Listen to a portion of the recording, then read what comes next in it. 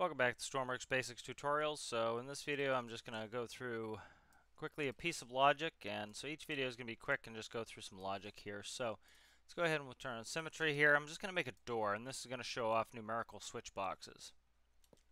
Alright, so the player character is seven blocks tall so we're going to go ahead in here and we're going to put up eight blocks. And I'll go across, make my door.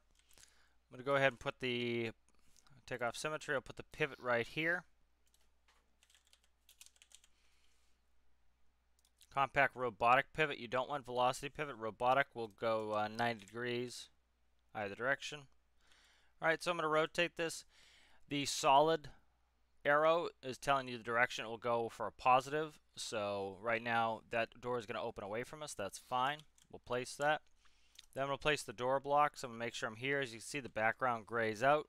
Now, as you can see with merge, there are two different elements.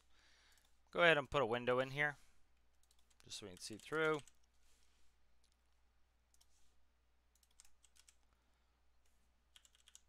Alright, I'll go ahead and I'll cut a toggle in here. Alright, we'll do a two-sided toggle. Alright, now we can grab a microcontroller. I have one that I just call black. that way I can easily find it. And I'll go ahead and stick that there.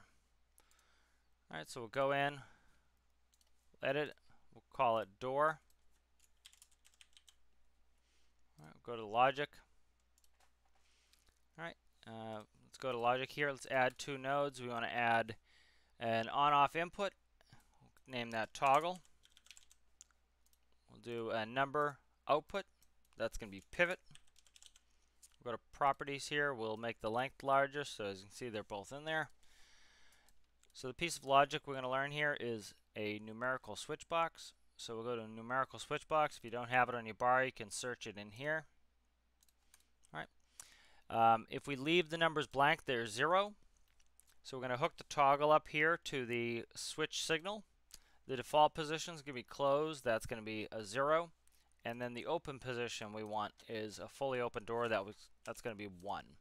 So it goes from 1 to negative 1 is the range of that robotic pivot. Connect that to the on value and to the pivot.